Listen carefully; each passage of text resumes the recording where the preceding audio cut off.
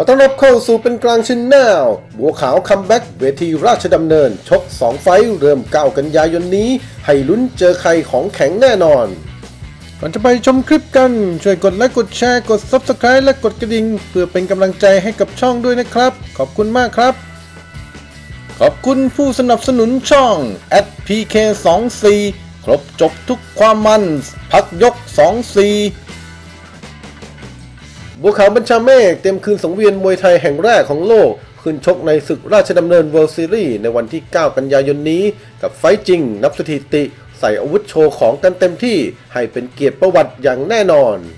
บัวขาวยอดนักชกซุปเปอร์สตาร์เบอร์หนึ่งของไทยเพิ่งมีอายุครบ 41 ปี เมื่อวันที่ 8 พฤษภาคมที่ผ่านมา ตั้งแต่ comeback อย่างยิ่งใหญ่ในปีที่แล้ว ก็ได้รับโอกาสขึ้นชกรายการใหญ่มากมาย มีโปรแกรมจัดชกข้ามไปถึงต้นปีหน้า และยังได้ขึ้นชกหลายสไตล์ มีทั้งแบบมวยไทย ไปจนถึงกระทั่งมวยสากลอาชีพบัวขาวโด่งดังขึ้นจากการร่วมแข่งขันมวย K-1ที่ประเทศญี่ปุ่นอยู่หลายปี และคว้าแชมป์ K-1 World MAX 2004 ที่กรุงโตเกียวประเทศญี่ปุ่น โดยชนะจอห์นเวย์นพาร์นักมวยชาวออสเตรเลีย รวมไปถึง โคฮิรุมากิและมาซาโตะแชมป์เก่าชาวญี่ปุ่น และกลายเป็นแชมป์รายการนี้ถึง 2 สมัยในปี 2004 และ 2006 และเป็นคนแรกที่ได้แชมป์ถึง 2 สมัย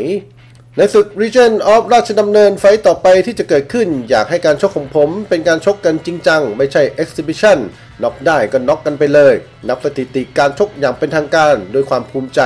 ตั้งใจไว้ว่าจะเป็นการชกเป็นเกียรติประวัติ ให้ตัวเองอีกสักครั้งในปีนี้ และตอนนี้สภาพร่างกายฟิตเปรี้ยพร้อมขึ้นชกแล้วบัวขาวกล่าวต่ออีกว่าเร็วๆนี้จะมีการเปิดเผยว่าคู่ชกที่จะมาเจอกันในราชดำเนินจะเป็นใคร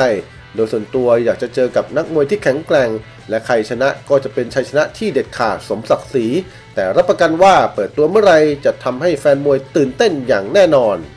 ในศึก RWS Legion of ราชดำเนินเมื่อปีที่แล้วบัวขาว TKO นักมวยหนุ่มหล่ออย่างโคตะมิระไปในยกที่ 3 เมื่อเดือนสิงหาคม จากนั้นจึงน็อกโยชิฮิโรซาโตะอดีตคู่ปรับเก่าในยกแรก ในการชกเมื่อปลายเดือนตุลาคม และ 9 ธันวาคมปีเดียวกันบัวขาวเจอกับโอเล็กซานเดอร์เยฟิเมนโก นักมวยชาวยูเครน ซึ่งจบลงโดยไม่มีผู้ชนะตามกติกาการต่อสู้สาธิตคิกบ็อกซิ่ง